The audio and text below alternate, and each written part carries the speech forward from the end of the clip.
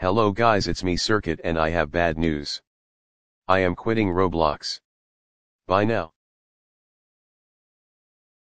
Peace out.